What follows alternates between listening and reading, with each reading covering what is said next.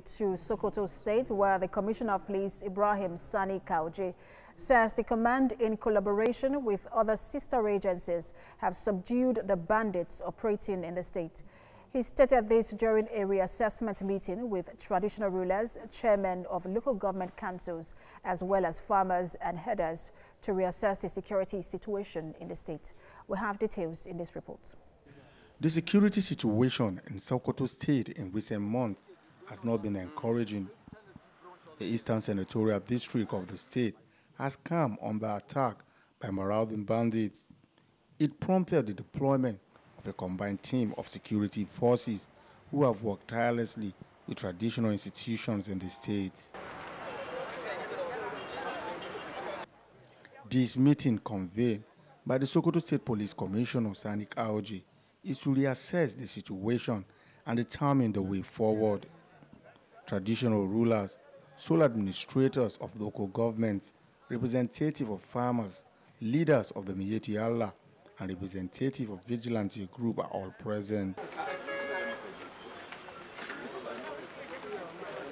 The interactive session about sole administrators of Tureta, Binji, Silame, Kebbe, Goronyo, Wurno, Rabah, to complain of rising insecurity in their domain, particularly kidnapped for ransom.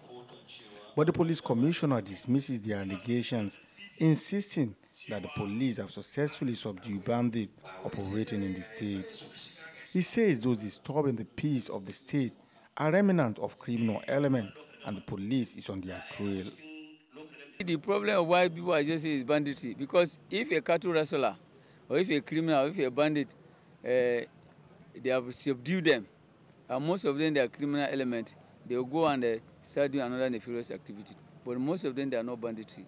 They are people who are what do you call it a remnant of uh, what, what do I say criminals that want to form as if they are doing a banditry. But definitely they are not bandits at all. Okay, Both traditional rulers and sole administrators at the meeting agree that the activities of informant in most communities is the reason the activities of bandits still occur in some parts of the state. I believe one of the ultimate objectives is to ensure also intelligent gathering and exchange of information between the community and the police. So the reason why they don't want boss out because they don't want them to be informed and this is the first one who report us. Uh, display there more especially at uh, they are inside the bush. Can't go there.